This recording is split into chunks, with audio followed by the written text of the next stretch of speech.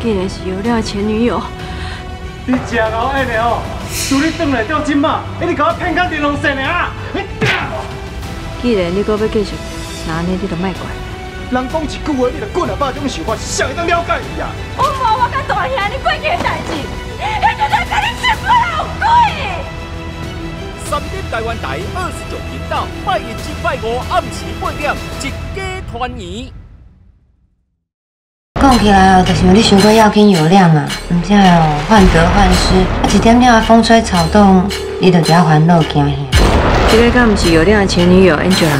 有亮跟 Angela 唔是第一个外交哦，我哪会识识？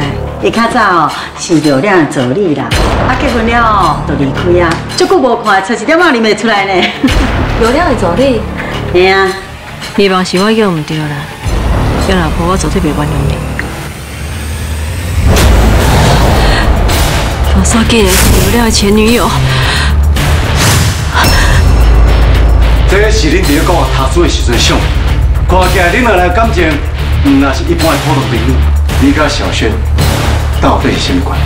洪有亮，你根本无要向我坦白的意思。